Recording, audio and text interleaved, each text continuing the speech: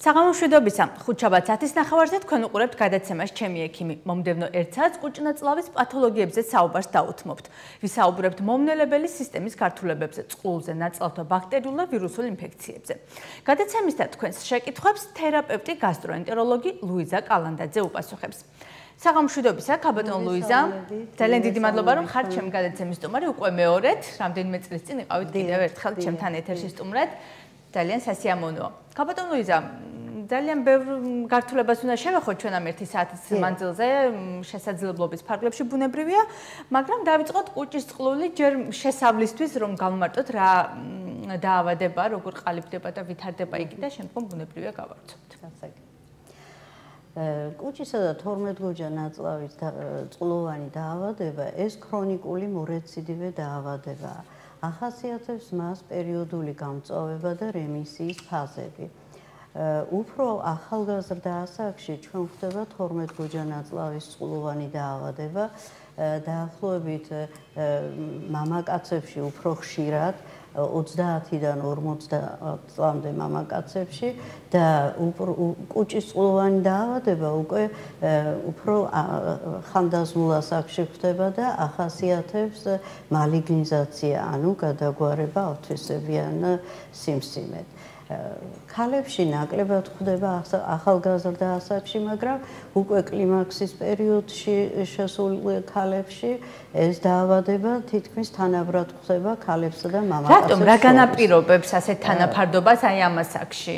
ის განაპირობებს, რომ ჰორმონული ცვლილებები ქალის ორგანიზმში იწვევს ძვრებს, სხვადასხვა ძვრებს და ერთ-ერთი ამისთვის დამახასიათებელი არის კუჭნაწლავის პათოლოგიებიც უფრო კლიმაქსის პერიოდში გამოვლენილი.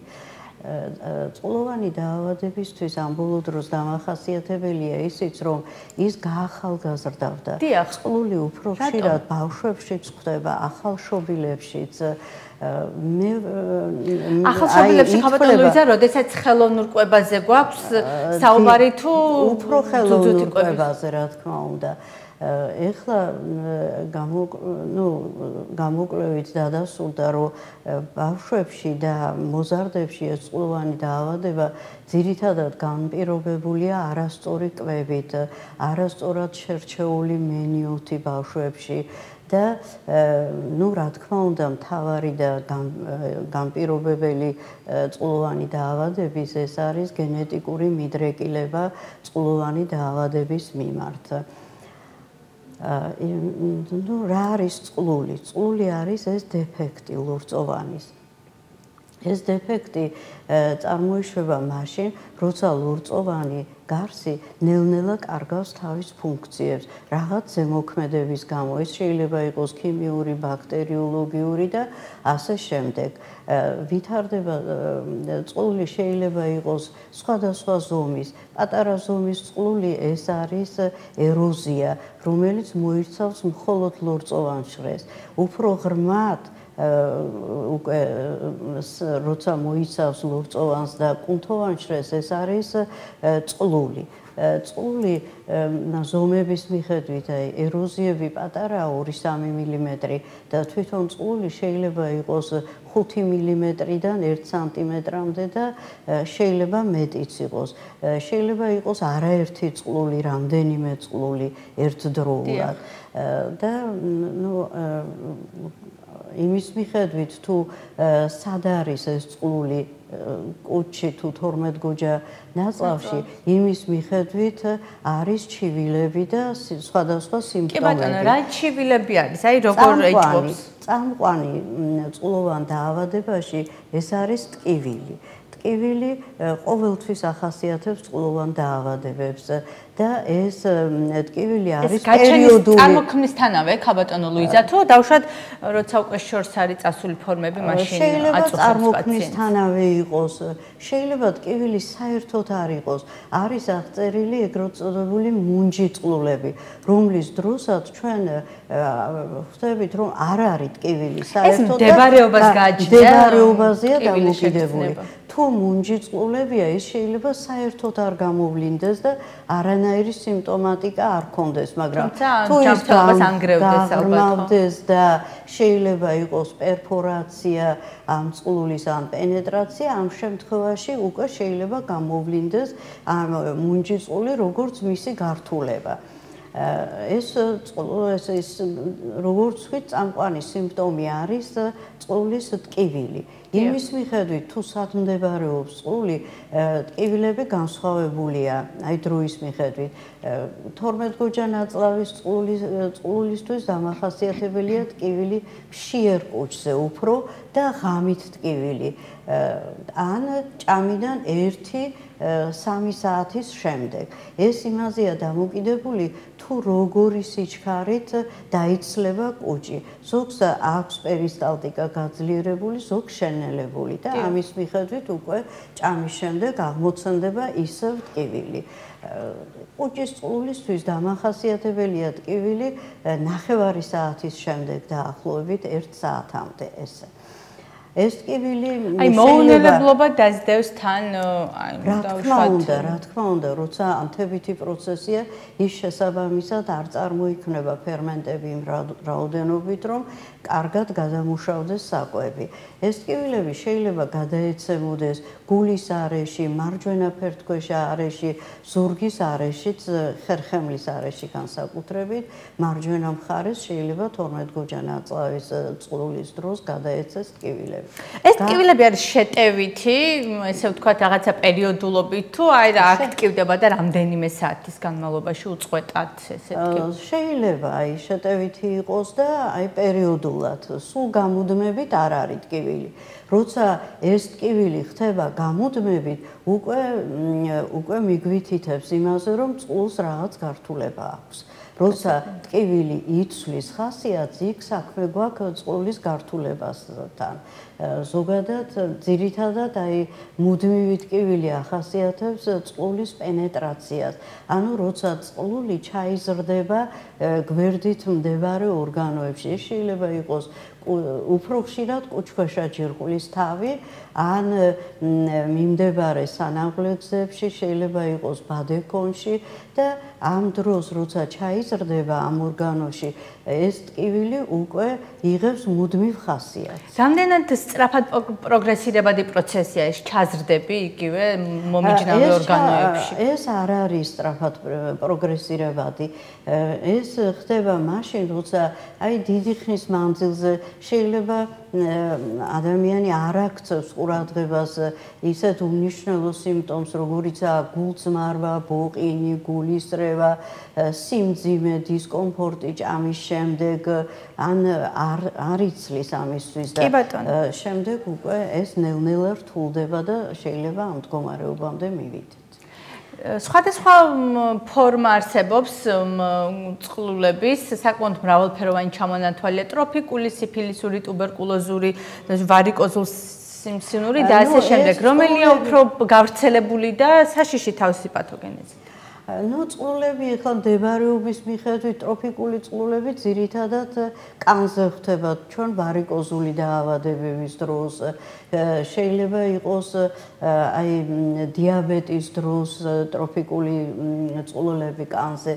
ეს არის ამას განაპირობებს ის რომ სისხლის მიმოქცევა ირღვევა და ტროფი ინერვაცია ქვემო კიდურებში ამ დაავადებების დროს ვიწროვდება სისხლძარღვები.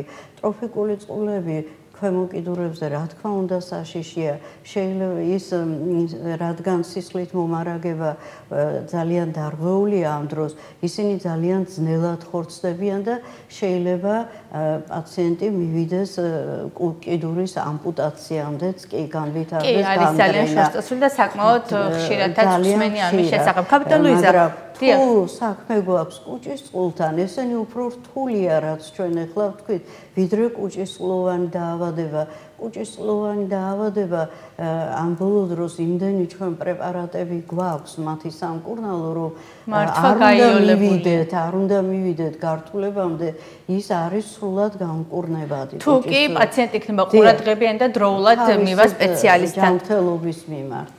ძალიან გახშირებულია ქაბატონ ლუიზა კენჭოვანი დაავადებები, მათ შორის ნაღლის ბუშჩი და აი ხშირად არის შემთხვევები, როდესაც ესე პერმანენტულად და ხშირად ნაღლის ბუშჩი შესაძლოა კენჭის მატარებელი იყოს ადამიანი, მაგრამ ესეთი ხშირი შეტევები არ ქონდეს, ან რაღაცა შეიძლება წელიწადში ერთხელ ქონდეს და არ იკეთებენ. თანამედროვე მედიცინა პირდაპირ ამოკვეთის მომხრე დღევანდელ დღეს, მაგრამ აი ეს ნაღლის კენჭოვანი დაავადებებისგან ვინაიდან დარღვეულია საჭმლის მონელების სისტემაც ერთგვარად. შესაძლებელია თუ არა მივიღოთ კუჭის წყლულის შედეგად რა თქმა უნდა. გაღიზიანებები ხშირად დიახ. ანთებითი პროცესები კუჭნაწლავის ნაღლის ბუშტის კენჭოვანი დაავადება გვაქვს ჩვენ იქ არის ხშირად რეფლუქსური დაავადება.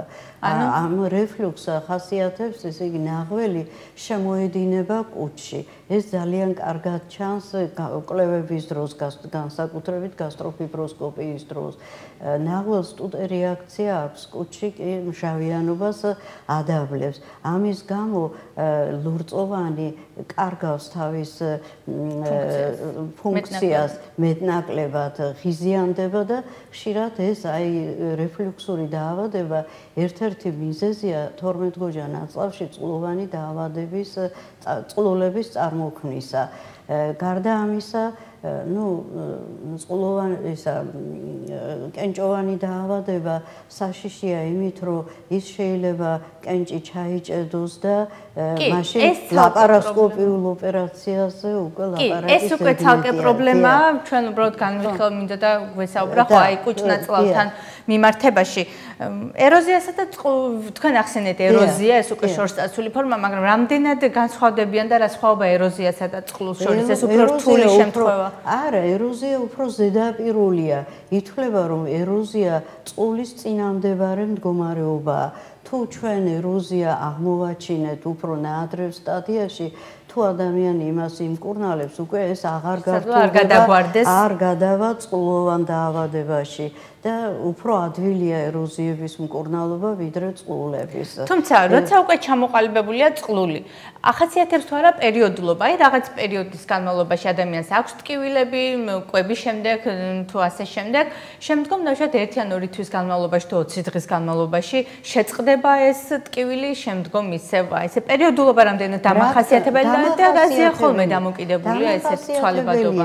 ეს ცვალებადობა ну, რა თქმა უნდა, კვების რეჟიმზე, კვების რაციონის შერჩევაზე, წყლს ახასიათებს თვითშეხორცებაც.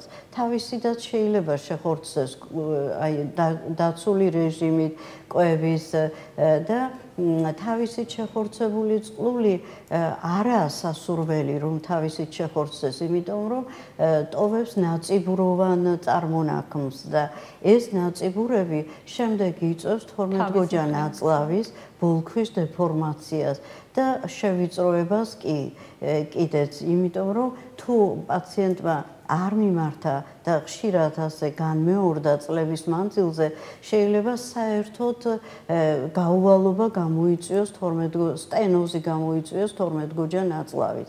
და ამ შემთხვევაში უფრო გართულებას მივიღებთ ძლიერ გართულებას, რასაც ახასიათებს ღებინება, აი საკვები დიდხანს რჩება კუჭში, პაციენტს უკვე აღარ უნდა საკვების მიღება, იმიტომ რომ ის ძალიან დიდ დისკომფორტს უქმნის ადამიანს. თავისით იწევს ღებინებას, რომ განთავისუფლოს კუჭი და ღებინების შემდეგ კარგად გრძნობს თავს და ამის შემდეგ ვითარდება ანემია, წონის კლება და ასე შემდეგ. ამიტომ ჯობს ვიმკურნალოთ მედიკამენტოზურად. აი ეს შემთხვევები, რომელიც ახლა თქვენ აღწერეთ, გაუვალობა უკვე 12 გოჯანა წელს და ასე შემდეგ. ეს ექვემდებარება მედიკამენტოზურ მკურნალობას თუ ეს უკვე ქირურგიული? უკვე აღარა, ეს პაციენტები არიან უკვე ქირურგიული პაციენტები. როდის იწყება სისხლდენა?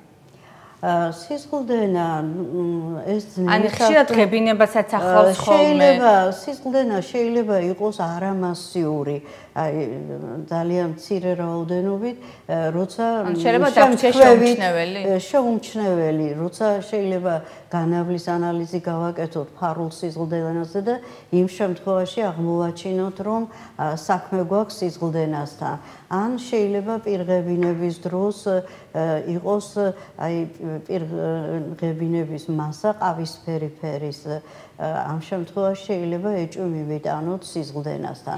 ეს არის მცირე სიზღლდენა, მაგრამ არის მასიური სიზღლდენა, მელენა, რომელსაც ახასიათებს შავი ფერის განავალი და ეს უკვე ისედაც ჩანს, რომ ეს არის გართულება და საკმაოდ ძველი და მწვავე გართულება, რომელსაც ბევრი გვერდითი ესენი გართულებები მოყვება და შეიძლება ეჭვობ ხოლმე ამ დროს ან დგება ხოლმე რისკი რომ შეიძლება სისხლდენა ვინაიდან არის სახეზე აი რაღაც ონკოლოგიური გართულებაც იყოს აი ეჭვობთ გასაკუთრებით როდესაც თქვა ასაკშია ადამიანის შესახებ შეიძლება ბავშვებში ნაკლებად იყოს და მოზარდებში უნდა აი ყოველთვის ასაკში საყურადღებოა რომ წყლული არ გარდაიქმნეს სიმსიმიეთ და ამიტომ ძალიან ეს გასტროფიბროსკოპიული მეთოდი ითვლება ოქროს სტანდარტად გამოკლევის ყოველთვის. ამ დროს როცა კეთდება დათვალიერება კუჭის და 12 გოჯა ნაწლავის, ამასთან ერთად შეიძლება ავიღოთ ბიოპსია და გამოვიკვლიოთ კუჭის ეს გენეზისი და ხო მოკლედ გამოვიკვლიოთ რომ არის თუ არა სახეზე წყულის გადაგვარების ნიშნები გვაქვს თუ არა კაპიტან ლუიზა ძალიან ხშირად ადამიანებს როცა პრობლემაზე მიდგება ჯანმრთელობის პრობლემაზე სახე ვიდრე ექიმთან მივლენ ამჯობინებენ რატომღაც გაყუჩებას ტკივილის დაამებას ხო ასე ვთქვათ და თუ კი ვთქვათ შვება იგრძნო აღარ მიდიან ექიმთან და ასე შემდეგ. როდესაც წყლულზე ვსაუბრობთ როდესაც აი იგივე სისხლდენაზე და ასე შემდეგ. რამდენად სარისკოა გამაყუჩებლის მიღება და რაღაცა ტკივილის დაამება გამება და ამ დროს ალბათ ფარულად უკვე მწვავდება და მწვავდება მდგომარეობა. რა რისკები ხშირია, როცა პაციენტები არ მიმართავენ ექიმს, ამ დროს სახლის პირობებში შეიძლება მოიხმარონ სოდიანი წყალი, რითიც ცოტა სიმჟავიანობას დააქვეითებენ. შეიძლება აი ხშირად იციან ალმაგელი ა ამ დროს ტკივილს იღუჩებს რატომღაც აი პაციენტებს მიაჩნიათ რომ ტკივილის მოხსნა შეიძლება არასტეროიდული ანთების საწინააღმდეგო პრეპარატებით ისინი ნაკლებად იღებენ მაგალითად სპაზმული ზურსაშუალებებს ვიდრე არასტეროიდულ. ხშირად მოდიან პაციენტები და მეუბნებიან აი ტკივილი მქონდა და მოვიხმარე ნიმესილი ნიმესილი რა თქმა უნდა უფრო გაუღვიზიანებს ეს ჯგუფის პრეპარატები მაგრამ რატომღაც მე არ მინდა ეს ამას ხაზი გაუსვა, მაგრამ ხშირად ჩვენ სააფთიაქო ქსელშიც პაციენტი მიდის და არა ექიმთან, არამედ აფთიაქში და იქ ხშირად აძლევენ არასტეროიდულ პრეპარატებს. ანუ პაციენტი შეიძლება ვერ უხსნის რა ტკივა და ხშირად მოიხმარენ ამ პრეპარატებს, რის გამოც უფრო გართულებას იღებენ ვიდრე სარგებლობს. დიახ, მაგრამ ხო ხშირად ავიწყდებათ, რომ ამ დროს სპეციალისტთან ვიზიტი არის საუკეთესო საშუალება, იმიტომ რომ შეიძლება დაიამოტკივილი ისევე როგორც მაღალი წნევის დროს თავის ტკივილ გამაყუჩებელს რო იღებენ და ამ დროს წნევა არის მაღალი და ამას ვერ გრძნოთ და შეიძლება დაიღუპო მომენტალურად. დაახლოებით ასეთ წარმომიდგენია ხო ეს სურათი. მაგრამ გაზიანი სასმელები და ნოშპაზე მინდა გითხოთ აუცილებლად, ხშირად პირველი რაც ახსენდებათ ადამიანებს, მათ შორის კუჭის ტკივილის დროს აი ნოშპა არის უებარი საშუალება, ხო? რას ნდე სახიფათოა? ხო, ერთი შეხეთვით შეიძლება სპაზმებს ხსნიდეს, მაგრამ აი მეორე მხრივ უკუჩვენებაც ალბათ თავისებურს რაღაც სურათი, რაღაც როის მამზე. შეიძლება ეს არის იყოს სული. შემდეგ უკვე როცა გადაწყვეტ დიაგნოსტირებას, ხო? სხვა დაავადება იყოს და წაგვიშლის სურათს, ამიტომ ჯობია რომ მაგრამ აი მუდმივად გაზიანსაც მე ნაბეღლავის ბორჯომის მიღება და ლიკან მინერალური წყლების მოკლედ არის თუ არა ამ დროს კარგი გამოსავალი? არ არის, არა, არ არის გამოსავალი. თვითონ პაციენტებიც აღნიშნავენ მიღებაზე, რომ როცა ვეუბნები და დიეტას ვუხსნი თუ როგორ უნდა დაიცვან დიეტა და იქ გამორიცხული არის გაზიანის სასმელები, თვითონაც აღნიშნავენ, რომ როცა მოიხმარდნენ ამ გაზიან სასმელებს, მათ არ ქონდათ შვება ამ დროს და რა თქმა უნდა, უკვე წუნდებიან, რომ არ უნდა მოიხმარონ, როცა გამწვავება. თუმცა რაღაც ეტაპზე ვიღად გარკვეული მასა ალბათ შეიძლება, შეიძლება იქ თბილის სახით გასგასული შეიძლება მოიხმაროს პაციენტმა და რაღაც დროის მანძილზე შვება იგრძნოს, მაგრამ ძირითადად საბოლოო შედეგი არის. საბოლოო შედეგი მაინც ვერ მიაღწევს. დიახ, თუმცა ხდება ისეც და არც თუ შეიძლება ალბათ, როდესაც ეს წყულები სკდება, ქალბატონ ლუიზა, ამას ეს რაზი არის დამოკიდებული, როდესაც უკვე შორს წასულია ძალიან სურათი თუ შეიძლება ისედაც შეიძლება ინდივიდუალური ინდივიდუალურია ყველაფერი. შეიძლება ზოგან ძალიან სწრაფად მიმდინარეობდეს ეს წყლოვანი დაავადება და პირდაპირ მივიდეთ გართულებამდე შეიძლება აი ნელ-ნელა მიმდინარეობდეს. ეს ძალიან რთული სათქმელია ვის ორგანიზმში როგორ ვითარდება ეს წყლოვანი დაავადება. მაგრამ გართულებები რასაც იძლევა წყლოვანი დაავადება და მისი გახეთქვა ძალიან რთული გართულები, ძალიან ძლიერ საყურადღებო გართულებებია. ფაქტიურად სიცოცხლესაც ექმნება საფრთხე მათ შორის. რა უნდა ამ დროს როცა წყლულის კდება, მისი კუჭის შიგთავსი იღრება მუცელში. ვითარდება პერიტონიტი. ნუ პირველი სიმპტომები ამ წყლულის გახეთქვის, რა თქმა უნდა, არის საერთო სისუსტე, ცივი უფლი, წნევის დაქვეითება, შემცირება, შეიძლება ამ პერიტონიტის გამო მაღალი სიცხეც იყოს და ძალიან მძიმე შოკურ მდგომარეობაში პაციენტი ვარდება ამ დროს და ეს უკვე სტაციონარში მოსათავსებელი პაციენტია და უკვე და შესაძლოა ამ დროს კუჭის არეში ან ნაწლავების არეში ტკივილი არც იგრძნობოდეს, ხო? უბრალოდ გვერდითი ეფექტი, გვერდითი ჩივილები იყოს. არა, პირველად აი გასკდომის დროს ძალიან ძლიერი ტკივილებია. ეს ტკივილი უდრის ხანძლის ჩაცემას ეპიგასტრიუმის არეში, მაგრამ შემდეგ უკვე ეს კლინიკა იცვლება. ეს ტკივილი შეიძლება იყოს მუდმივი, იქ პერიტონიტი როცა ვითარდება, უკვე ეპიგასტრიუმის არეში არა, მთელი მუცელია უკვე მტკივნეული. დიახ და ამ დროს რა ალბათ მნიშვნელოვანია რაც შეიძლება ოპერატიულად მოხდეს დახმარების გაწევა ხო და ამ დროს თუ დროულად ვერ მიმართა პაციენტმა შეიძლება სიცოცხლისათვის საშიშ გართულებასთან და შეიძლება დაიღუპოს კიდეც პაციენტი ან სიზღლდენით ან პერიტონიტითან კი ბატონო და ეს არის უკვე ქირურგიული ჩვენება ეს პირდაპირი ქირურგიული ჩვენება. კი ბატონო მოდი ვიდრე ვთქვათ რაღაც სხვა უფრო თემებზე გკითხავთ ძალიან ბევრი ნიუანსი რაც ჩვენს მაყურებელს აინტერესებს. დიაგნოსტირებაზე რო გადავიდეთ და შემდგომ უკვე მკურნალობაზე აუცილებლად როგორ ხდება დიაგნოსტირება? იმიტომ რომ ძალიან თუ არსებობს რაიმე ესეთი უფრო ოპტიმალური მეთოდები ვიდრე ეს არის თქვა ზონდის გადაყლაპა და ასე შემდეგ რაც აფრთხობს და აშინებს ძირთადად მოქალაქეებს. სანამ დიაგნოსტიკას მოგახსენებდეთ მე უნდა გავამახვილო ყურადღება წყულის გამომწვევ მიზეზზე წყულის გამომწვევი მიზეზები ეხლა 90%-ით დადგენილია რომ არის ინფექციური. ანუ წყულის გამომწვევი მიზეზი არის ბაქტერია Helicobacter pylori რომელიც აღმოჩენილია უკვე დიდი ხანია და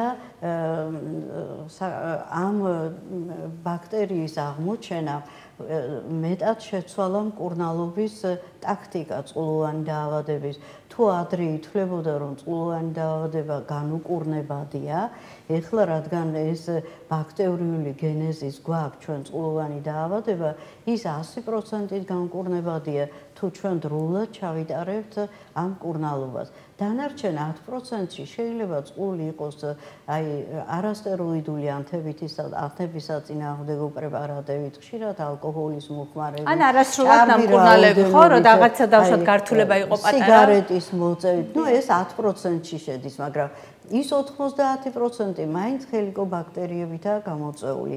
აქედან უკვე მე შემიძლია გითხრათ რა გამოკვლევები გვინდა უნდა ჩაუტაროთ პაციენტს. რა თქმა უნდა, ეს ოქრო სტანდარტია გასტროფიბროსკოპია.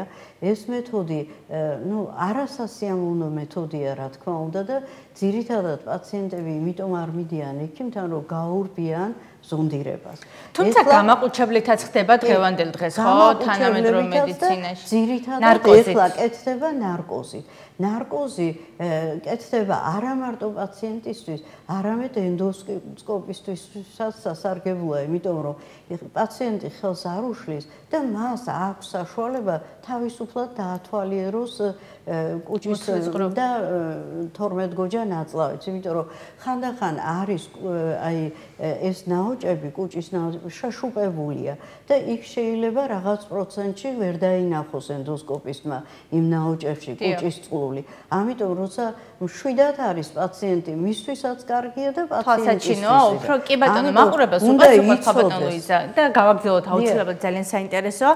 საღამო მშვიდობისა თქვენ პირდაპირ ეთერში ხართ გისმენთ. მოგესალმებით, გენაცვალე. შეკითხვა მაქვს ექიმთან ერთი თუ შეიძლება. ძალიან. აა ესეთი შეკითხვა მაქვს. უცნაური მადლობებს ძალიან წლების განმავლობაში. გესმით ჩემი? დიახ, ისაუბრეთ. ძალიან მადლობებს უცნაური წლების განმავლობაში ადრე მკურნალობდი კიდე და ხა ექიმ აღძანა რომ გაზიანი სასმელიო არ შეიძლებაო და მე პირიქით თუ ადავლიე გაზიანის სასმელი ძალიან ცუდად ვარ. საერთოდ ბოდიში ამ გამოხმაზე ვერ ვინელებ და რაფერ შეიძლება რა უნდა ვქნა თქვა რა შეიძლება რა მირჩევთ? მე რას გირჩევთ იცი გაზიანი სასმელი შვება არ არის.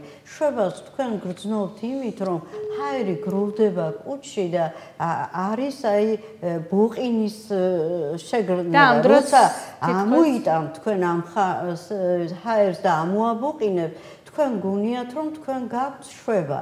ამ დროს ეს ძირითადად არაფერს არ ნიშნავს. ეს არის დროებითი მოვლენა.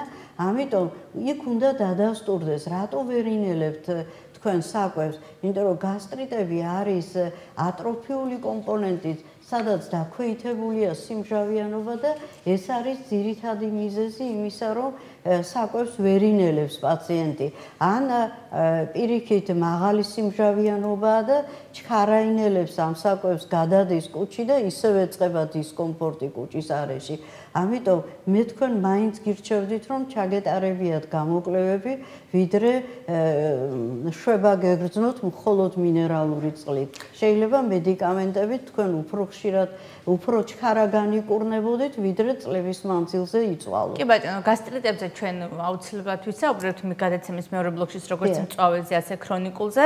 და ჩვენ მოკლედ დიახ ამ სადიაგნოსტირების მეთოდებზე ვსაუბრობთ კაპიტან ლუიზა და თქვენ ამბობდით რომ რაც უფრო თავისუფლად იქნება პაციენტი დიაგნოსტიკა უფრო კარგად დაათვალიერებს ენდოსკოპისტი კუჩს და 12 გოჯა ნაწლავს და არ გამოეპარება ის მომენტები რაც აუცილებლად დასანახია. აი ოქრო სტანდარტია მოკლედ ასე ვთქვათ ეს გარდა ამისა ეხლა ძალიან კარგი გამოკვლევა არის სუნთქვითი ურიაზული ტესტი ჰელიკობაქტერ პილორზე რომელიც ჩვენ ქალაქშიც არის და აუცილებლად ყველა გასტროენტეროლოგმა უნდა გასტროფიბროსკოპიასთან ერთად ეს გამოკვლევაც უნდა ჩატარდეს.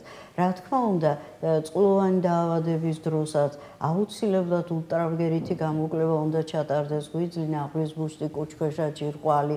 ეს ყველაფერი შედის ამ საერთო გამოკვლევებში, რომ ჩვენ წარმოუდგენა გვქონდეს რით არის გამოწეული იქ პათოლოგია შეიძლება იყოს ნაღლის ბუშტისაც და პარალელურად ისიც სამკურნალო შეიძლება იყოს.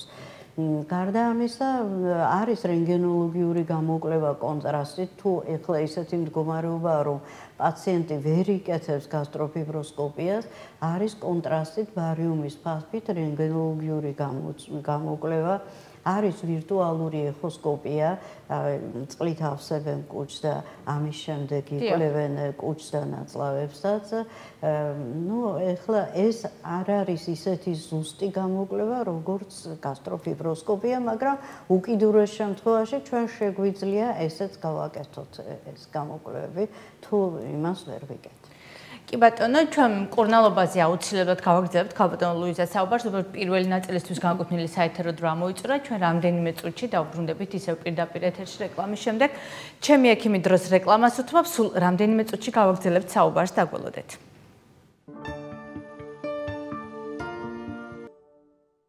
რეკლამის შემდეგ გადაცემა ჩემი ექიმი დაბრუნდა პირდაპირ ეთერში 28 თებერვლის გადაცემა კუჭნაწლავის პათოლოგიებზე საუბარს ეთმობა სტუდიის სტუმარია თერაპევტი გასტროენტეროლოგი ლუიზა კალანდაძე. კაპიტონ ლუიზა ჩვენ პრინციპში დიაგნოსტირების მეთოდებზე საუბრობდით და მე მგონი მეტნაკლებად ყველა სადიაგნოსტიკო საშუალება მიმოვიხილეთ ხო მკურნალობის თემაც არის საინტერესო თუმცა ვიდრე ვთქვათ გადავალ კონკრეტულად რა ფორმით ხდება და რა ეტაპზე მედიკამენტოზურ და როდის მიდიოთ ქირურგიამდე აი ამას კითხავდეთ. სპონტანური შეხორცებებიც ახასიათებს კუჭის წყლულს ჩვენ გადაცემის პირველ ნაწილში თქვენ რა პრინციპში შევეხეთ მაგრამ ძალიან მოკლედ. ანუ რა შემთხვევაში იმიტომ რომ როდესაც არის მომენტები რაღაც მომენტში არის შეტევითი ტკივილები მე რაღაც პერიოდი 1-2 კვირის განმავლობაში იკარგება. ყובה ახსენეთ თქვენ რომ აი ყובה თუ კი სწორად უკოვებით შეიძლება რაღაც მომენტში აი მკურნალობაში ხო წამყვანი არის კვება. კვების რეჟიმი და რაციონი, რაც უნდა დაიცვას პაციენტმა. უნდა ვიკვებოთ მინიმუმ 4 ჯერ დღეში. თუ წყლოვანი დაავადება, ну, ეხლა ყველა მიცის, რომ მომუშავე პაციენტების უმრავლესობა ვერ ახერხებს, ძირითადად იკვებებიან ორჯერ. დილის საუზე მათი არის ყავა და რაღაც შეიძლება ბუტერბურდი ან მხოლოდ ყავა და ძირითადი კვება არის საღამოს სამსახურის შემდეგ და ეს დიდი მოცულობით მიღებული საკვები ვერ მუშავდება წესიერად ქმნის დისკომფორტ, შეიძლება ღამის ტკივილებით წარმოქმნას. ამიტომ რაღაცნაირად უნდა გადავანაწილოთ ეს. ზოგი ახერხებს, მაგრამ ის შუადღის კვება შეიძლება იყოს ფასფუდი. და ისიც ქრონიკულად მოხმარებული სტრაფიკების ობიექტია. ყובაც, მაგრამ ხაბატონ ლიზა, თქვენ ახსენეთ პირველ ბლოგში, როცა ამ თემას შევეხეთ, რომ როდესაც თვითნებურად ხდება შეხორცებები წყლულის, იქ მაინც არ არის სრულყოფილი შედეგი, იმიტომ რომ იქ ჩნდება ნაწიბურები, შემდგომ ეს ნაწიბურები თავის მხრივ რაღაც პრობლემებს იწვევს. ანუ აი ამ შემთხვევაში ალბათ უნდა იეჭოს პაციენტმა, რომ სად გაქრა, ასე ბჭყალებში რო თქვა, ტკივილები და რაღაც აი ეს ნაწიბურები მოიშუშოს, თუ აი შემდგომ რა გართულება შეიძლება ძალიან იშვიათად არ ამგონი რომ პაციენტი მაგას მიაღწევს. დაუბრუნდეს, მაგრამ აი რისკები ალბათ გარკვეული არსებობს ხო ნაწიბურებისგან რისკები არსებობს. თუ ახლა წყული არის ზედაპირული არის ზომით დიდი არა ეროზია მაგრამ არის წყლული და მხოლოდ ლორწოვან შრეს მოიცავს. შეიძლება თავისით უკვალოდ შეხორცდეს ასეთი წყლული მაგრამ თუ თითქმის კუნთოვან შრესაც მოიცავს რა თქმა უნდა ამ შემთხვევაში ჩნდება ნაწიბური რომელიც დისკომფორტს და დრო და დრო შეიძლება რეციდივითაც რა თქმა უნდა რა თქმა უნდა. რეციდივით მიიღოთ სახეზე. მორგი მაყურებელი გვირეკავს უპასუხოთ ხალბატონ ლუიზა გავაგზავნოთ ისევ საღამო მშვიდობისა თქვენ პირდაპირ ეთერში ხართ გისმენთ გესმით ჩემი ხმა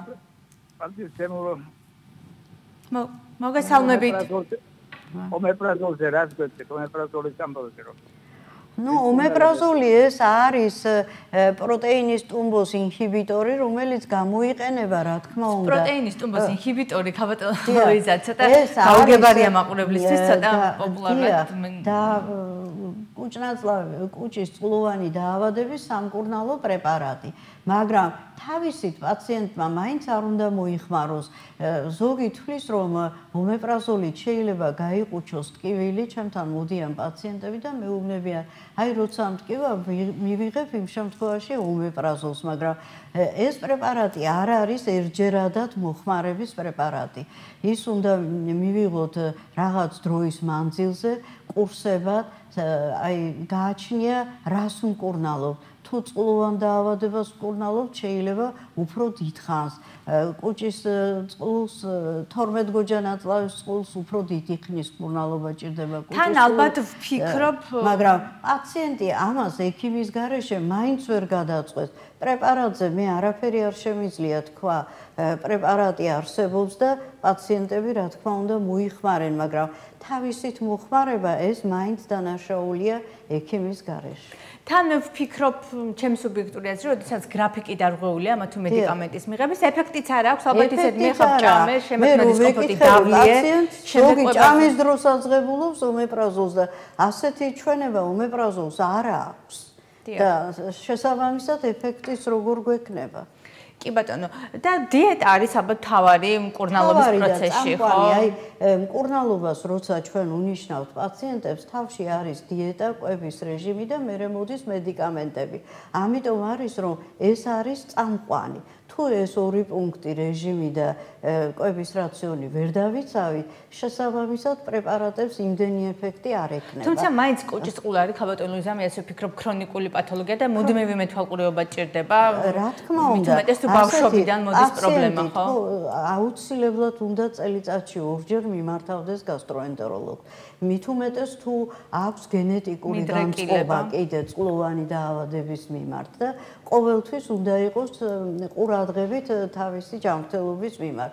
თუ ჩვენ იქ აი დიეტაში შეზღუდვა გვაქვს, შემწვარი მჟავე, ცხარე, მინერალური სასმელები, გაზიანი სხვა სასმელები და რძის პროდუქტებიდან რძე, მაწონი ამოღებულია ამ დროს და კიდე ბევრი სხვა ამას პაციენტი ვერ აკეთებს თავისი თავისი უნდა მიმართოს აუცილებლად ექიმს. რაღაც რატომღაც პაციენტებს შავი პური გონია დიეტურია და როცა ატკივდებათ კუჭი ან რაღაც დისკომფორტი აქვს მუცლის არეში, გადადიან შავი პურის მოხმარებაზე.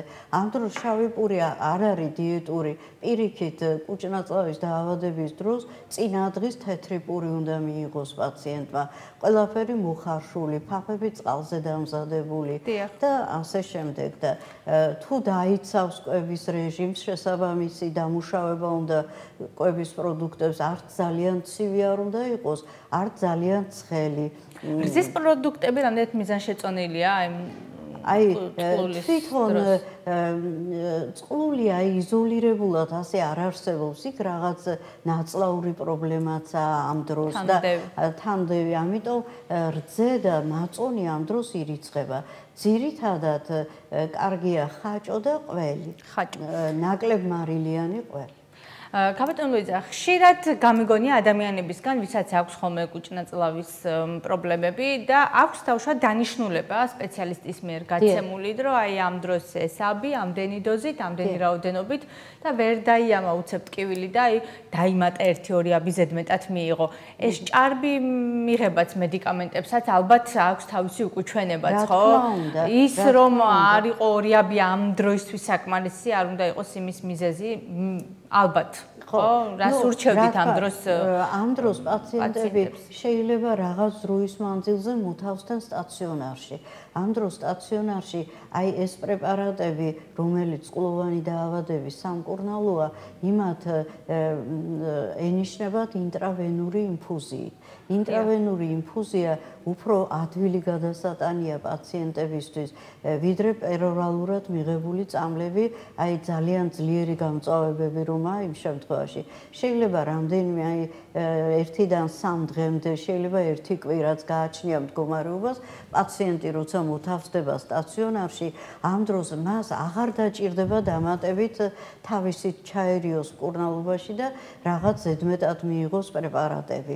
ამიტომ როცა ესეთი მდგომარეობა მე მაინც ურჩევდი ქალაქში ძალიან ბევრი სტაციონარია, სადაც ასეთი პაციენტები შეიძლება მოთავსდნენ და რაღაც დროის მანძილზე მიიღონ გარკვეული მკურნალობა და შემდეგ გააგრძელებენ უკვე ამბულატორულ მკურნალობას. კი ბატონო.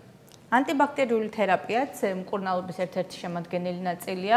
რას გულისხმობს? ამდენ ეფექტურია?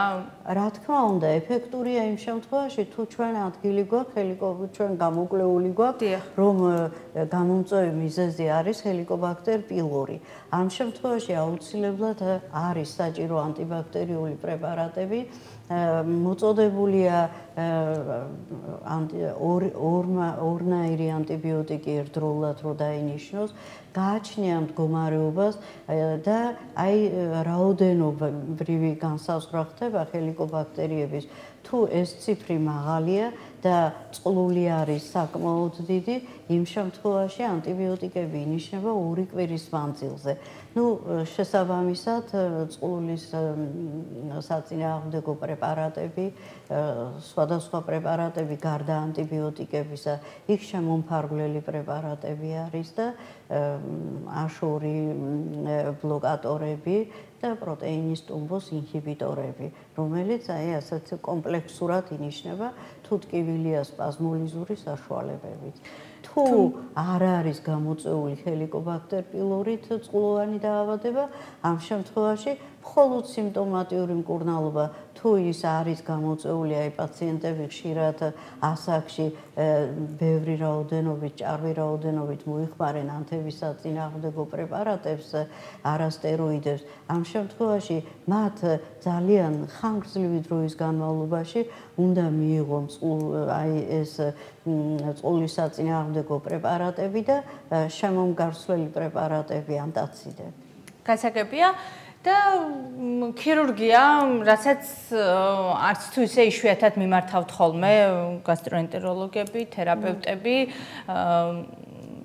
ეს არის ჩოლებრივი ღია ოპერაციები და თავის ის არის რეაბილიტაციის პროცესი თუ თქვათ რაღაცა არის ღია ოპერაციებია, რა თქმა უნდა, იქ ნუ მდგომარეობის მიხედვით თუ ის არის პატარა წყული შეიძლება გაიკეროს, შეიძლება რაღაც რეზექცია მოხდეს, რაღაც ნაწილის კუჭის, ძირითადად 2/3-ის და რჩება 1/3 და საყურადღებოა ძალიან ასეთი პაციენტები, მათ მოცულობით პატარა კუჭი აქვს, უნდა ჭამონ ხშირად, უნდა ჭამონ ცოტა, რომ ხშირად ვითარდება ეგრეთ წოდებული დემპინგ სინდრომი, როცა ადამიანი ამ დროს ოპერაციის შემდეგ უნდა მოიხმარდეს ძალიან თხევად საკვებს არა, მისი საკვები უნდა იყოს უფრო ფაფისებური და მოსკო, რომ ჩქარა არ გადავიდეს ეს საკვები კუჭიდან ნაწლავში, რომ პაციენტი ამ დროს სუდად ხდება და ეს სინდრომი არ განვითარდეს. და დიეტაც ალბათ პოსტოპერაციულ პერიოდში არის ძალიან ხანგრძლივი და მნიშვნელოვანი. მაგრამ რეციდივები ძალიან ხშირია. ხშირია და ქირურგიაც ამ დროს ალბათ არის მოწოდებული, შეიძლება ანუ მეორედ მესამედ და ესე უცასროდ. დიახ, მაგრამ მაინც პაციენტმა არ უნდა დაიმშვიდოს თავი იმით, რომ მან გაიკეთა წყურის ოპერაცია და აწი კუჭი იმას აღარ შეაწუხებს. აი იმ ნაწიბურზე წარმოიქმნება ახალი წყლულე. შესაძლებელია. კი ბატონო, მაყურებელს უპასუხოთ ქალბატონ ლიზა, გავაგრძელოთ საუბარი. საღამო მშვიდობისა, თქვენ პირდაპირ ეთერში ხართ, გისმენთ. ალო, გამარჯობათ. გამარჯობათ. მე დიდი ხნის წინ, 4 წლის წინ მათუხებდა ეს დაავადება, ვიყავი თბილისში, კატეშვილის ცენტრში. იმის შემდეგ თითქმის განკურნებაზე და ხელახლა გამემეორა და სვამ მეზინფორტეს. დიდი ხნით ამ მეზინფორტეს მიღებას უკვე ჩვენება ხომ არ გააჩნია. Ну ახლა მე მადლობა ზარისთვის თქვენ ტატიშვილის კლინიკაში რო იყავით და გიმკურნალეს ეს წყლოვანი დაავადება მეზინფორტე არის ფერმენტული პრეპარატი რომელიც ფერმენტების ნაკლებობის დროს ინიშნება მაგრამ მე არ ვიცი თქვენ გქონდათ ეს წყლული და გასტრიტი ატროფიული კომპონენტით თუ ჩაულებრივად მეზინფორტე ხანგრძლივად მოხმარება არ არის რეკომენდებული ის უბრალოდ მონელებაში ეხმარება ხო? და არა სამკურნალო პრეპარატი. ეს არ არის სამკურნალო პრეპარატი. გააჩნია მდგომარეობას. ეს თვითონ ექიმა უნდა გადაწყვიტოს რა ხნის განმავლობაში შეიძლება თქვენ მოიხმარდეთ ამ პრეპარატს და თუ თქვენ ისევ დისკომფორტი გაქვთ ამიტომ ისევ უნდა გამეორდეს კვლევები და შესაბამისი მკურნალობა უნდა ისევ დაინიშნოს რადგან წყლოვანი და დაავადება ქრონიკული დაავადებაა და პერიოდულად შეგაწუხა. მადლობა დიდი მადლობა. მადლობა თქვენ ზარისთვის ხშირად მეზინფორტეს აიგივებენ როგორც სამკურნალო პრეპარატი. ბუნებრივია ეს არის უბრალოდ ეხმარება შებერილობის მოხსნაში. და ვინაიდან გასტრიტებზეც დარეკა ჩვენმა მაყურებელმა და ესეც არანაკლებ მწვავე და პრობლემური და აქტუალური თემაა პაციენტებში რა შეგიძლიათ თქვათ მწვავე და ქრონიკული არსებობს პრინციპში ეს გასტრიტები როგორ უნდა მოხდეს ამ დაავადების მართვა მწვავე გასტრიტი როგორც ასეთი ძალიან იშვიათია ის შეიძლება იყოს რაღაც ქიმიური მომწავლელი აგენტის მიღების დროს, რაღაც პროდუქტით მოწამვლის დროს. იზოლირებულად მაინც არა გასტრიტი ამ დროს შეიძლება იყოს გასტროენტერიტი მწვავე. და შესაბამისი მკურნალობის შედეგად, ну, ერთ კვირაში ეს ძირითადად განკურნებადია. ან რაღაც შემთხვევით რაღაც ქიმიური აგენტი მოიხმაროს, მოიწამლოს ქლორით, აი რაღაც ასეთი რაღაცებით, რომელიც შემდეგ, ну, განკურნება შესაბამისად. კი ბატონო, კითხავთ აუცილებლად მაყურებელს უპასუხოთ და გავაგზავნოთ ისევ საღამომშვიდობისა, თქვენ პირდაპირ ეთერში ხართ გისმენთ. საღამომშვიდობისა. საღამომშვიდობისა. ცხნული მაქვს უკვე ერთი 7-8 წელიწადია და ომერპრაზოლს შევამდე და ეხლა ძალიან კარგი არის რომ მითხეს მახინჯაურის სემივანებში არის ასეთი რაღაც ცხალი კუჭი და კარგი არის. რომ არის ასეთი რამე საერთოდ ჩვენ ბათუმში? აა ეხლა რა არის იცით? მინერალური წყლები რომელიც მოიხმარება კუჭის წყლოვანი დაავადების დროს გამწვავების პერიოდში მაინც არ მიიღება. ეს უნდა იყოს რემისიის პერიოდში მიღებული. თუ თქვენ ტკივილები გაქვთ, რაღაც დისკომფორტი გაქვთ, მე არ გირჩევთ ამ პერიოდში მინერალური წყალების მიღებას. ის უნდა აი მედიკამენტოზური მკურნალობის შემდეგ მოიხმაროთ 1-2 თვის შემდეგ. როცა უკვე ანთებითი პროცესი ჩაცხრება, ხო? ანთებითი პროცესი ჩაცხრობილია, ეს წყალი კარგია, მაგრამ არა მწავე პერიოდში. რატომ ისე ხშირად სვამენ მაყურებლები ამ შეკითხვას და ბუნებრივია იდენტური პასუხები გავთხოვდნენ სპეციალისტებს. აი იმ მომენტში რატომ არის საშიში თუ არარეკომენდებული აი სამკურნალო წყლების დალევა, როდესაც საშიში არ არის, მაგრამ ჩვენ ეფექტს ვერ მივიღებთ. თუ ეხლა გამოწეულია წყული ჰელიკობაქტერიებით, როგორ მინერალური წყალი როგორ მოარჩენს იმ ჰელიკობაქტერიას? ხო ხო ვერ მივიღებთ განკურნებას. გასაგებია. ყაბზობა კაპიტან ლუიზა საკმაოდ რთული პრობლემა ხშირად და ბევრსაც უხებს ძალიან. რა არის ხოლმე ამ დროს გამომწევი ყაბზობის? რატომ ექმნებათ ადამიანებს ეს პრობლემა? ესეც პირდაპირ პროპორციულია კვების რაციონთან თუ აქვს სხვა დამოუკიდებელი მიზეზებიც პირველ რიგში ყაბზობა როცა აქვს პაციენტს იმას იმან უნდა მოაწესრიგოს თავისი კვების რაციონი ყაბზობის დროს აუცილებლად კვების რაციონში ჭარბი რაოდენობით უნდა შედიოდეს უფრო ბოსნეული. თუ პაციენტს აქვს შებერილობა და დისკომფორტი, უფრო მოხარშული სახით უნდა მიიღოს და არა ნედლი სახით ბოსნეული. გარდა ამისა, ძალიან დიდი მნიშვნელობა აქვს წყლის მიღებას. წყლის მიღება მინიმუმ 2 ლიტრის რაოდენობით დღის განმავლობაში უნდა ახერხებდეს თითქმის ყველა ადამიანი და მით უმეტეს ვისაც შეკრულობა აქვს იმ პაციენტებს უმახვილებ ყურადღებას წყლის მიღებაზე. გარდა კვების რაციონისა, სხვა მიზეზები არ არსებობს, რაც კვების რეჟიმი, კვების რეჟიმი ყაბზობის. გარდა ამისა, აი ეს დეფეკაციის რეფლუქსი არის ძალიან ნასი. თუ ჩვენ აი რამდენჯერმე დავთრგუნეთ ის და ეს სისტემატიურად ხდება რომ ადამიანს ექნება განსაკუთრებით სკოლის პერიოდში ექნება დისკომფორტი ბავშვებს განსაკუთრებით სკოლის ტუალეტში შესვლის.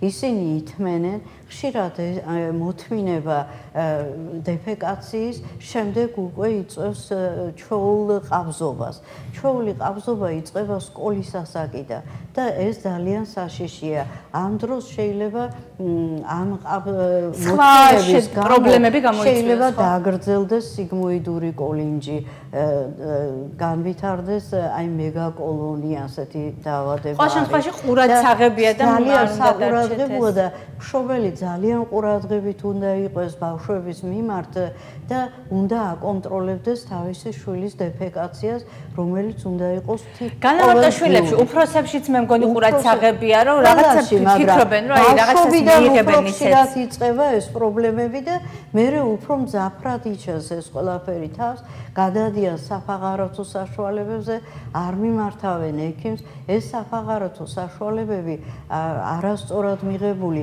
გამორეცხავს სასარგებლო ფლორას ნაწლავის, ვითარდება დისბაქტერიოზი, ეს თავისთავად იწევს ატროფიას, ძალიან რთულია. ლორწოვანის ატროფია შეიძლება წლობით მკურნალობა მოიყოს დისბაქტერიოზი. აღარ გამოიყოფა ფერმენტები უკვე ნაწლავებში იმდენი რაოდენობით, რომ კარგად გადამუშავდეს საკვები, ეს გადაუმუშავებელი საკვები თავისთავად იწევს შებერილობას, ტკივილებს და დისკომფორტს და ვითარდება გაღიზიანებული ნაწლავის სინდრომი ამ დროს. დიახ, ეს მაქ აქეთკენ მივდიოდი მე ხაბატონული ლუიზა ძალიან ხშირად არის ხოლმე ეს გაღიზიანებული ნაწლავის სინდრომი და ხშირად ამას უკავშირებენ რომ აი რაღაცა თქვა გაურეცხავი ხილი ვჭამეთ ამ ბოსტნეული მივირთვით ან რაღაცა ვირუსი შეგვეპარა ან დიზინტერია ერთგვარი ესეთი მიკრობული, ვირუსული, ეს გაღიზიანებული ნაწლავის სინდრომი, ის ორგვარად მიმდინარეობს. შეიძლება იყოს ჩვეულებრივად კუჭის მოქმედება, მაგრამ ადამიანს მაინც კონდეს დისკომფორტი, ტკივილები, შებერილობა მუცლის არეში, მაგრამ შეიძლება გაღიზიანებული ნაწლავის სინდრომი მიმდინარეობდეს ყაბზობით, შეიძლება მიმდინარეობდეს ფაღარათით. ყაბზობით მიმდინარე გაღიზიანებულ სინდრომზე ჩვენ ვილაპარაკებთ ნაწილობრივ, რომ აუცილებლად უნდა დავიწყოთ კვების რეჟიმიდან და მე მთლიანად ეს გამოსაკვლევია ყველაფერი, ანალიზი უნდა გაკეთდეს დისბაქტერიოზზე, ჭიებით ძალიან საყურადღებოა ინვაზია ჭიებით და აუცილებლად უნდა ჩატარდეს დეხელმი და საკუთარ ის არის ამ დროს გგონია რომ რაღაცა ქონდა ღებინება ან დეფეკაცია თითქოს რამდენიმე წუთით შვებას პოულო შემდგომ იცებს სპაზმური ტკივილები აქვს ხო? სპაზმური ტკივილები აქვს პაციენტს და ის დეფეკაციის შემდეგ ღებულობს შვებას, იმიტომ რომ აი მაგრამ ეს არის ხშირი და უკვე როცა ეს უკვე ქრონიკულ სახეს ღებულობს, ეს ძალიან რთულია. იქ ღიზიანდება სწორი ნაწლავი, სიგმოიდური ნაწლავი და ხშირად ადგილი გვაქვს იმასთან, რომ ყალიბდება ლორწოვანზე წყლულები, ნახეთქები და ეს უკვე ძალიან რთულია ნახეთქი ხშირად ქირურგიულ ჩარევასაც. ჩარევამდე შეიძლება მივიდეს. კი ბატონო, მაყურებელს უპასუხოთ, ქაბატონ ლუიზა. საღამო მშვიდობისა, თქვენ პირდაპირ ეთერში ხართ, გისმენთ? გისმენთ? დიახ. გამარჯობა. გამარჯობა. ხირი უზმარვა არის მანიშნებელი არის და რა უნდა როგორ უნდა მოვიქცეთ შემთხვევაში. მადლობა ზარისთვის. მადლობა, გიპასუხებ. გულზმარვა არის რეფლუქსური დაავადება. ამ ბოლო დროს adre ეს არის როგორც დაავადებად გამოყოფილი გულზმარვა რეფლუქსური დაავადება. ეხლა არის ცალკე ნოზოლოგიათ გვხვდება ჩვენ ეს დაავადება. გასტროეზოფაგური რეფლუქსი. ეს არის ცალკე დაავადება, რომელიც ვითარდება ცალსახად როგორც გასტრიტების დროს, ასევე ხოლეცისტიტების კენჭოვანი დაავადების დროს და საყურადღებოა ამ დროს თუ აღმოჩნდება გასტროფიბროსკოპიის დროს, რომ საყლაპავის სფინქტერი მთლიანად არ იხურება, ანუ საქმე გვაქვს ჩვენ დიაფრაგმის საყლაპავის ხრელის თეაქართან. ამ დროს თითქმის მუდმივად კუჭის შიქთავსი, სადაც მჟავენიადაგია და შესაბამისად საყლაპავში ჩვენ ტუტენიადაგი გვაქვს, ამოდის მუდმივად საყლაპავში, იწევს საყლაპავის გაღიზიანებას და ეს თითქმის გამუდმებით, გამუდმებით პაციენტს აქვს გულძმარვა, მაგრამ გარდა იმისა, რომ პაციენტს აქვს გულწვავა, მუდმივმა გულწმარმა შეიძლება გამოიწვიოს ძალიან ბევრი გართულებები, ისეთი როგორიცაა საყლაპავის დაბოლოების ანთება და წყლულები, საყლაპავის დაბოლოების წყლულები, რომელიც ხშირად განიცდის მალიგნიზაციას ეს წყლულები. მოკლედ ეს არის ის ყველაზე ხშირი შემთხვევები და ჩვენებები, რა დროსაც თვითმკურნალობა კატეგორიულად დაუშვებელია, იმდენ რამდენიც შეიძლება საკმაოდ რთული და შორწასული ფორმები მივიღოთ საბოლოო ჯამში, ხო? აი, წყლოვან დაავადებაზე უფრო რთულია ეს რეფლუქსური დაავადება. ის თითქმის მუდმივად აწუხებს პაციენტს და გამუდმებით რაღაც კუჭის პრეპარატზია. ამ დროსაც არის ხოლმე გულძმარვის დროს გაზიანი სასმელების მიღება და სოდიანი წყალი და ასე შემდეგ, მოკლედ კატეგორიულად ემიჯნებით სპეციალისტები. ანუ ეს არის დროებითი ეფექტი, რომელიც ხან შორო პერსპექტივაში ძალიან ცუდი შედეგის მომტანია. არა აქვს პაციენტს ის პრეპარატები, რაც უნდა მოიხმაროს ამ დროს და აქვს მხოლოდ სოდა რაკნას, ახლა მიიღებს იმ სოდას რაღაც ერთხელ და ორჯერ და გამუდმებით მიღება ნამდვილად არ არის რეკომენდებული. გასაკებია და დასასრულისკენ რომ წავიდეთ პრინციპში ჩვენ რაღაც დაახლოებით 5 წუთი გვაქვს საერთო დროის ამოწურვამდე დიარეებზეც მინდა კითხოთ მათ შორის კუჭის წყულსაც ახასიათებს ხოლმე დიარეები და ზოგადად დიარეა ცალკე წაღებული საკმაოდ ისეთი მწვავე და ხშირი პრობლემა არის. რა ხდება ხოლმე გამომწვევი? წყალიც მათ შორის ზაფხულში ზღვაც ალბათ და გარკვეული ბაქტერიები. ინფექციები შეიძლება იყოს.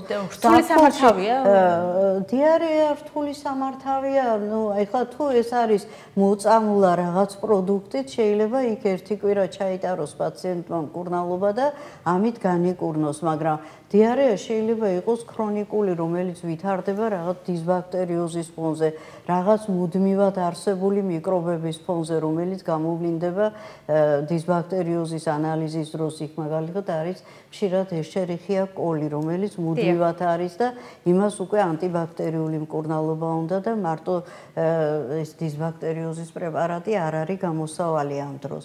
მაგრამ დიარეა კუჭის წყლოვანი 12 გოჯანაწლავის წყლოვანი დაავადების დროს არ ხასიათდება დიარეით. ის უფრო ყაბზობით მიმდინარეობს. არის დაავადება ზოლინდერ ელისონის დაავადება, რომელიც უფრო მიმდინარეობს დიარეით. ის უთანაბრდება ამ წყლოვან დაავადებებს. არის ამ დროს 12 გოჯანაწლავის წყული, მაგრამ ეს დაავადება სულ სხვა დაავადებაა. ის უფრო მიეკუთვნება სიმსიმონ დაავადებებს.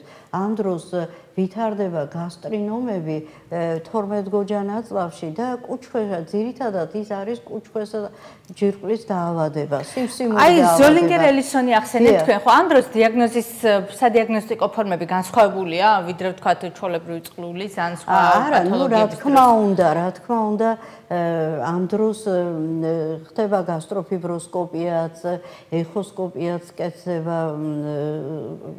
მაგრამ გარდა ამისა, იქ არის გასტრინომა, ამიტომ უნდა განისაზღვროს გასტრინის რაოდენობა.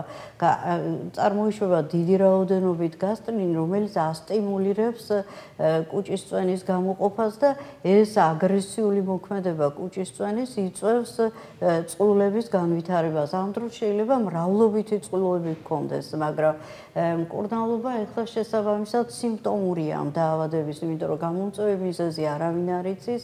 ძირითადად ეს არის ენდოკრინული სფეროს დაავადება.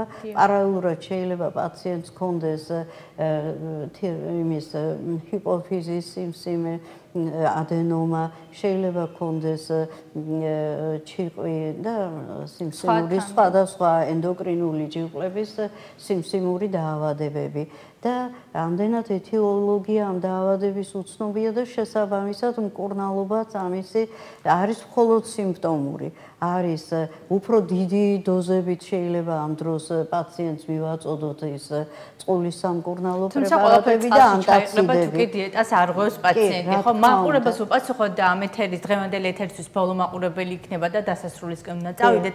საღამოშვიდობისა თქვენ პირდაპირ ეთერში ხართ გისმენთ. გვაინტერესებს. დიახ. აი, მოგხედოს თვითონ წამყვან. დიახ. გისმენთ ხალბატონო. გამარჯობა. ჩემო კარგო, როგორ ვირჩევდი თქვენ თუ ვირჩევთ მრავალ ზარღვის მოხმარებას, როდესაც არის ხუჭის ფლოლი. ძალიან დიდი მადლობა ზარისთვის.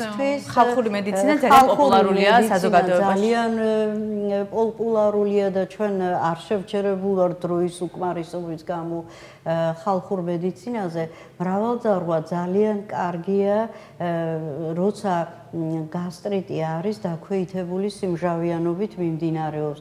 ამ დროს ძალიან კარგი ეფექტი ძლევა რავალდობა. ანუ უფრო გასტრიტის დროს, ვიდრე წყლულის დროს, ჩვენ მაყურებელი ინტერესებოდა წყლულის გასტრიტის დროს დაქვეითებული სიმჟავიანობით არის მრავალძარღვას გან დამზადებული სხვადასხვა პრეპარატები, რომელიც აფთიაქშიც იყიდება, მაგრამ წყლულის დროს არა, გასტრიტების დროს, გასტრიტების სამკურნალო ძალიან კარგი პრეპარატია მრავალძარღვა, მაგრამ დაქვეითებული სიმჟავიანობით მიმდინარე.